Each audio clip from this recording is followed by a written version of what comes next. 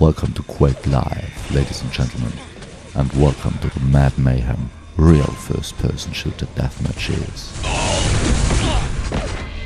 I haven't played any Quake for quite a time, and it clearly shows. No positioning, not taking care of angles at all, and miserable aim. Here you see me, totally disoriented, overstrained, and generally unable to cope. Two guys jump to the left, and idiot me jumps to the left too, right into suicide. Catapults me to the bottom end of the roster, deservedly so. One decent rail hit at last. But then three misses and fragged again. Respawn. Getting the plasma and doing one frag with it. Startled by the battlesuit guy, and down in the abyss we go. Rinse and repeat. There is the battlesuit guy. Did you see that? Let's have it again.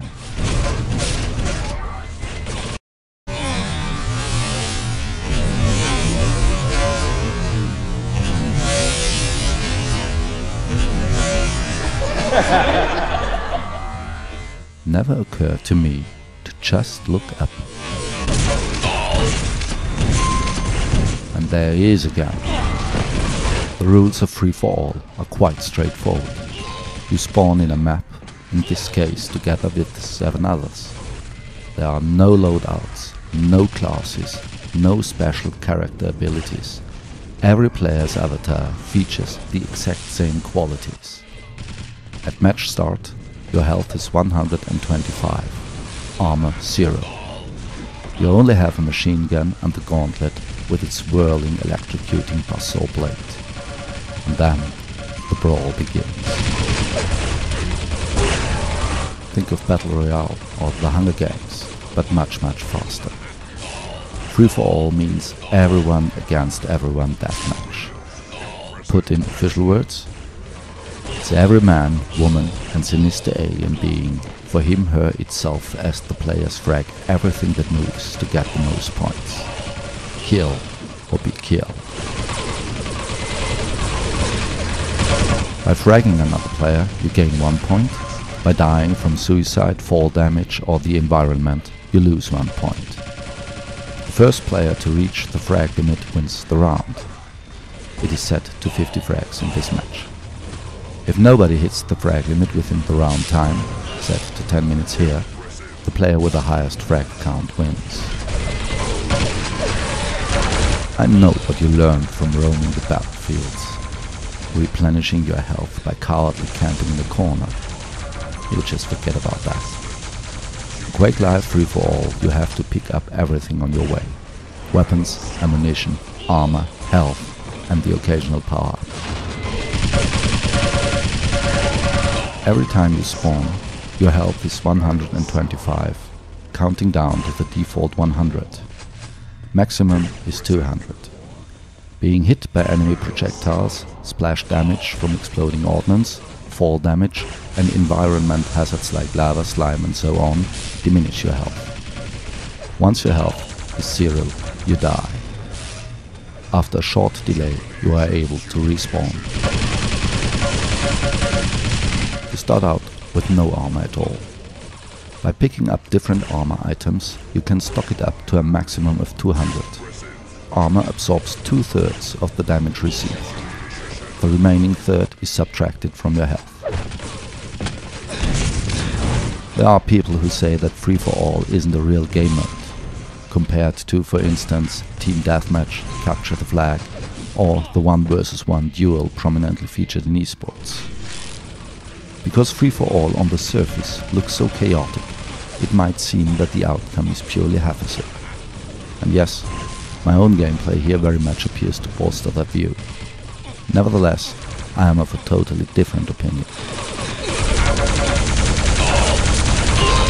There are veteran expert players out there who dominate nearly every free-for-all match they are in.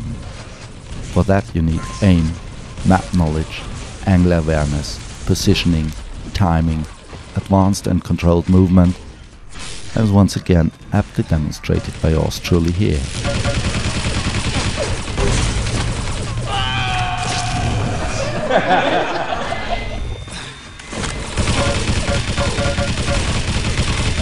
Hell's Gate originally is a map for one versus one duel. So, by design, it is not really meant for free-for-all. With only 8 people in the map right now, it still occasionally feels quite crowded. That adds a lot to the impression of chaos. But even within this confined map, with its narrow catwalk in the center, movement patterns and planning ahead can be used to gain an advantage. Granted, because of the perimeter's tightness, the tactical and strategical levels most of the time conflate. Nevertheless, sometimes, even at Hell's Gate, the opportunity arises to ambush an enemy.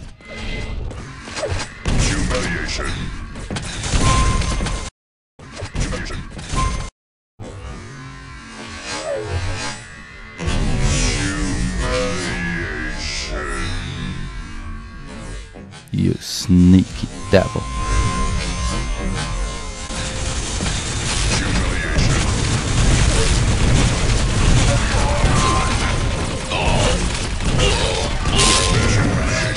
The only power at Hell's Gate is the battlesuit. For 30 seconds it absorbs 75 of incoming damage. It also protects from hostile environmental conditions and splash damage. At Hell's Gate, the battlesuit spawns right in the center of the map on the catwalk above the Red Abyss. Power-ups first spawn somewhere between 30 and 60 seconds into the match. From then on, they respawn every 120 seconds after having been taken. Besides the battlesuit, there are three other power-ups in Quake Live. Quad damage, regeneration and haste. All three not present at Hell's Gate. All four power-ups last for 30 seconds. If a player carrying a power-up is fragged, the power-up is dropped. It then can be picked up by another player to enjoy the remainder of the original 30 seconds. In free-for-all matches, the power-ups more often than not are key. So, the idea is to at least time when the power-ups spawn and grab them something I do not do at all in this match. Instead, I am assaulting the battlesuit carrier.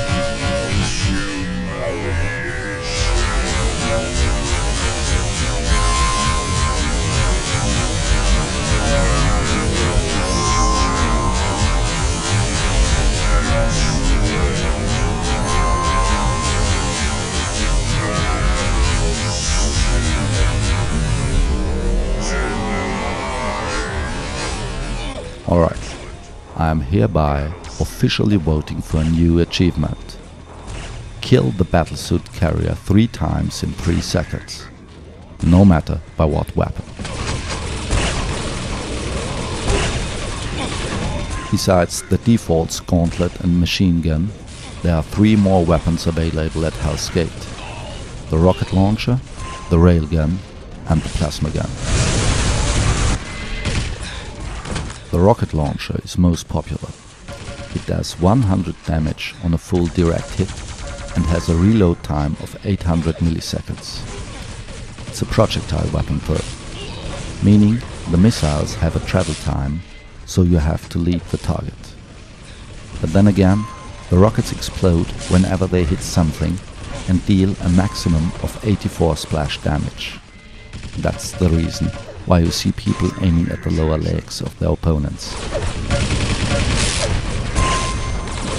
The railgun is the hitscan weapon, dealing 80 damage per hit. This comes at the cost of a 1.5 second reload time. The plasma gun does 20 damage every 100 milliseconds. That means a maximum damage of 200 per second. Sounds pretty nice. But the projectile qualities make it maybe the most demanding weapon in the game. One frag to go for the leading player. Grab two plasma guns and go all in.